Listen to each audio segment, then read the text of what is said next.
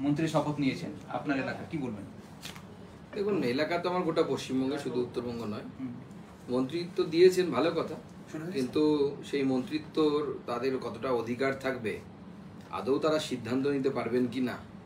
কারণ পার্টিতে পোস্ট তো একটাই বাকি সব তো ল্যাম্প পোস্ট। স্বাভাবিকভাবে তারা কতটা সিদ্ধান্ত নিতে পারবেন আমার যথেষ্ট সন্দেহ আছে।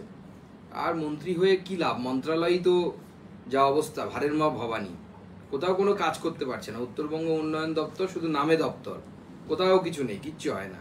কোনো কাজ হয় না। কেন্দ্র সরকারের টাকা কিছুটা ডাইভার্ট করে কাজ হয় বাকি কোথাও কিছু কাজের ব্যবস্থা নেই। আবার দেখুন কমাস পরে আবার এক্সটেনশনের প্রয়োজন হয়। আবার কোন মন্ত্রী ঢুকে যাবে জেলে তখন আবার হয়তো নতুন করে এক্সটেনশনের প্রয়োজন হবে। পরেশ অধিকারীকে সরিয়ে দেওয়া হয়েছে। তো এবার তো তাহলে ক্যাবিনেট পুরো স্বচ্ছ হয়ে গেল। স্বচ্ছতার ব্যাপার নেই।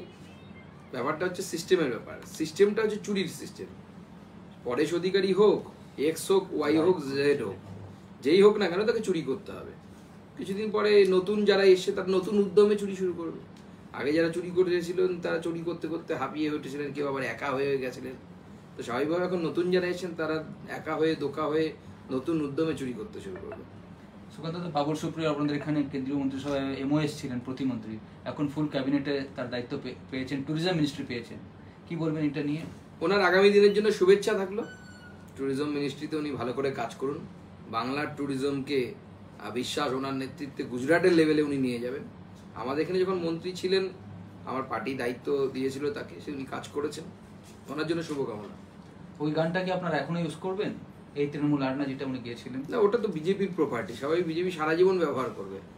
হ্যাঁ এবং যে সময় আমরা পরবর্তী সময় যখন নির্বাচনে যাব তখনও বিজেপি এই গান ব্যবহার করবে। কারণ ভালো গেয়েছেন বাবুলদা তো ভালো গায়ক সেটা নিয়ে কারও সন্দেহ নেই।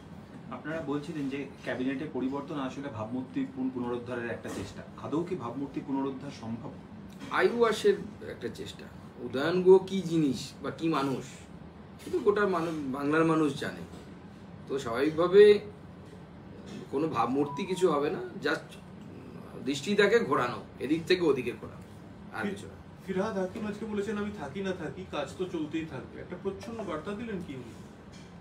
তো জানার নেই এখন কি চলছে ওনাদের ভেতরে। তবে তৃণমূল দলের ভেতরে সবাই ভালো নেই এটুকু আমরা বলতে পারি। ভেতরে একটা অন্তর্দ্বন্দ্ব চলছে।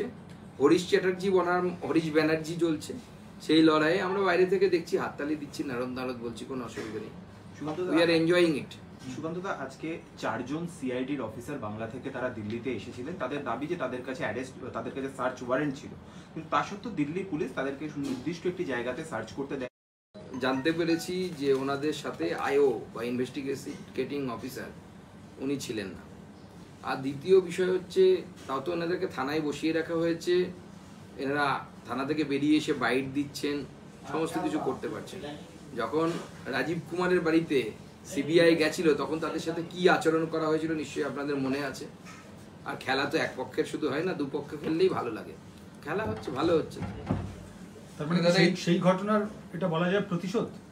সেরকম বিষয় নিয়ে এলে আমরা করতে দিতাম আমরা তো প্রতিশোধে বিশ্বাস করি না। আমরা স্বাস্থ্যকর প্রতিযোগিতায় বিশ্বাস করি। বলছে যে কেন্দ্রীয় স্বরাষ্ট্র মন্ত্রকের নির্দেশে দিল্লি পুলিশ এই কাজ করছে এটা কি ঠিক? কে বলছে?